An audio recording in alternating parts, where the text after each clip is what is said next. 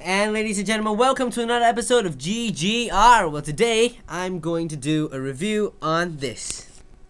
Yes, this is the Nokia E71. Eh, It is the uh, so-called PDA styled phone to rival the BlackBerry. There it is. It has a QWERTY keypad here, As you can see on the front. I have the white model over here. Uh, so that's it. It has this really really huge screen, although it is not um, bigger than the BlackBerry one. Okay, but this is it. We have our QWERTY keypad and four quick buttons here. Bring it closer. The menu button, calendar button, the contacts button, and the email button. On top here we have a secondary camera for um, 3G calls and a light sensor. Uh, on the side, we have an infrared port, we have a micro SD card slot, and a USB slot. Um, on this side, we have the volume up and down, push to talk, and the headphone jack. Um, it doesn't sport the 3.5 millimeter that is that comes with the XpressMusic phone. Well, this is a business phone however so it has this really small one okay? Um, on the top we have our speaker over here and the on off switch. On the back we have a 3.2 megapixel autofocus camera flash and a mirror. So yeah um, basically this is it. You can check out the unboxing um, on one of the previous episodes.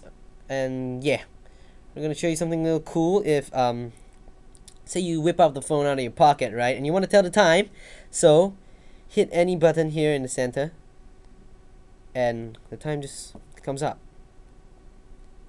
It also tells you what mode you're in, if it's locked, the date, and if you have a message, it'll be there. So yeah, so I'm I'm gonna lock it now, and here it is. This interface that you see right now is the menu interface for uh, the business mode of some sort. There are two modes where you can switch on this icon here. Okay. Okay, so um, this is the business mode, messaging, maps, and stuff. Alright, I'm going to show you um, home. This is it. This is the menu. We have communications, office, log, connectivity, tools, media, installations, GPS, web, download, help, Mem1 Explorer it actually spans out to a lot of stuff that you can do. Um, here we have the office where you can actually use you can you can actually do PowerPoint presentations on it, Excel presentations, which is really really interesting. Um, media we have a, a recorder, music player, and you can actually access the Nokia Music Store straight from here. Okay, sorry, I pressed a okay there it is. You can download podcasts straight into it. And yeah that, that's it. it and the camera is also quite clear though. Check it out. And yeah.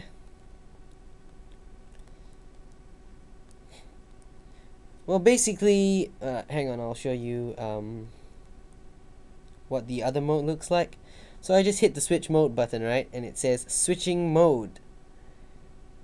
And there is. This is the play mode the fun mode the pleasure mode you know? You just get a different interface here and yeah. Calendar is very very cool. It, it has, you can check it out in week mode or what. Uh, hang on. Show you. Week view. So you're actually viewing it in the weeks. Contacts you can organize your contacts uh, into lots. You can add in a lot of information about your contacts. Email this is how it looks like. It is also somewhat like uh, your messaging. It also looks the same.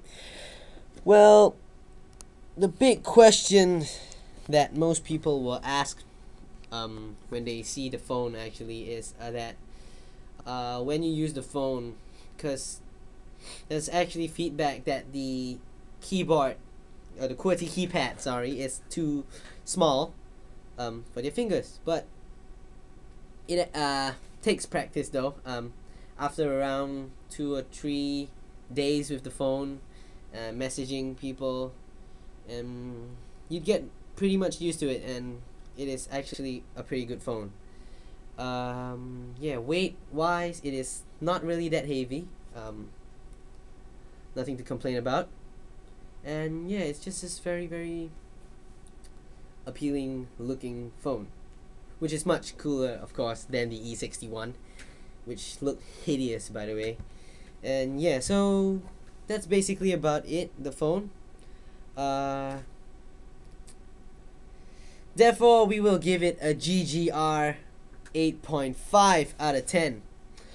Why didn't it get a 9 or why didn't it get a 10 from me? Because it just doesn't give the wow factor. Although it's cool, it's sleek, uh, it has most of the functions. It has a 3.2 megapixel camera.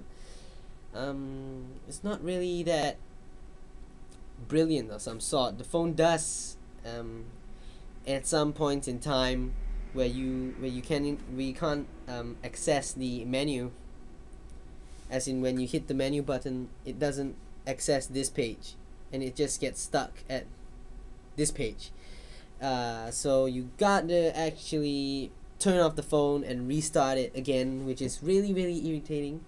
Uh, video wise, for example, you're taking videos on this phone. Uh, say you're taking a one minute video and only 50 seconds of the audio from the video gets inputted into the camera into the phone which means 10 seconds of the end of the video you don't hear a thing. That is um, a pretty bad side volume wise for this phone is as in music volume is not not bad actually. Um, quite loud as it only has one speaker here at the top to project the sound. Here let me try um, play a song. Although I don't think you can really hear it well through this but oh well check it out. This is not um, at full volume yet. It could go louder. Right. This is the loudest volume. Everybody's gonna love today, gonna love today, gonna love today. Everybody's gonna love today, gonna love today. Any way you want to, any way you got to. Love, love me, love, love me, love, love. Okay, so basically that is much more or less about the phone. Um, um, that was yeah. So that's basically about it. Um, still a pretty good phone. That that is why we give it an 8.5 out of 10. Um, yeah. So I've been using it for about a month now, and I am although it doesn't give you the wow factor, I'm still pretty happy with it. Uh, there's not much downside to it. So, if you are looking for a phone and you're a businessman or whatever, this might be the phone to consider. Although there is no push email or something like that, you have to connect to wireless um, hotspots or your Wi-Fi at home to get email on the E71. Other than that, it is pretty good. The back of the phone is stainless steel. It's metal. Uh, that's basically it. This could double as a mirror, actually. Uh, yeah. So that's basically about the phone. Um, not much complaints about it, except for those that I just told you. So that is some parts where you have to take note when you want to buy this phone. So that's it. This is just my review of it. Uh, I will do a review or uh, something like, you know, a run through of the Nokia Music Store uh, really soon. Uh, as it's something new, so perhaps you guys might want to try it out and you might want to think about trying it out. So, thank you for watching this episode of GGR. For any more episodes, go to ggrpodcast.blogspot.com. I am Daniel. Any queries about the phone, send it to ggrpodcast at hotmail.com. Title it E71. Alright, thanks for watching. Goodbye.